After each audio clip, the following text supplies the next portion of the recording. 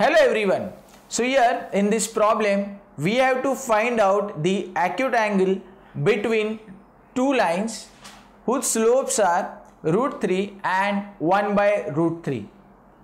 Now to find out the acute angle between any two lines we have a formula uh, that is tan theta is equal to mod of m1 minus m2 upon 1 plus m1 into m2 so we are gonna use that formula where m1 and m2 are the slopes and which are already given in the question.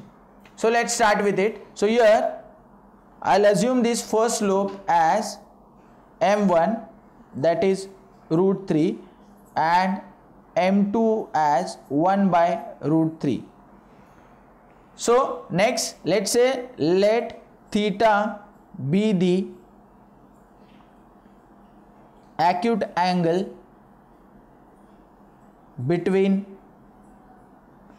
two lines. So therefore by formula or using the relation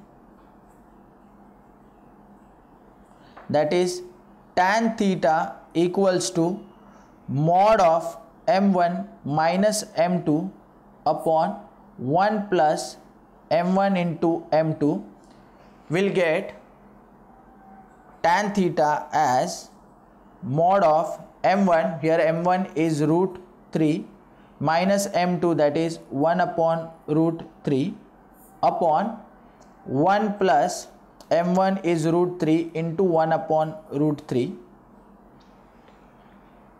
so by cancelling root 3 in the denominator we will get 1 plus 1 that is 2 so therefore in tan theta we will get 2 in the denominator. Here in the numerator we can take LCM and here we'll get root 3 into root 3 that is 3 minus 1 upon root 3. So next we can take this root 3 in the denominator. So here we'll get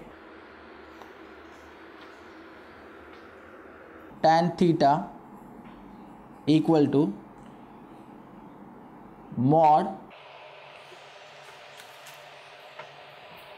tan theta equal to mod of 3 minus 1 upon 2 times root 3. Next, therefore, tan theta is equal to 3 minus 1 2 upon 2 root 3. By cancelling this 2, we'll get tan theta as mod of 1 by root 3. And if we'll try to find out the theta, then we'll get theta as tan inverse of 1 by root 3 and we know that tan inverse of 1 by root 3 is 30 degree or pi by 6 so therefore theta is equal to 30 degree or pi by 6 radians. So the acute angle between the two lines whose slopes are root 3 and 1 by root 3 is 30 degree Thank you.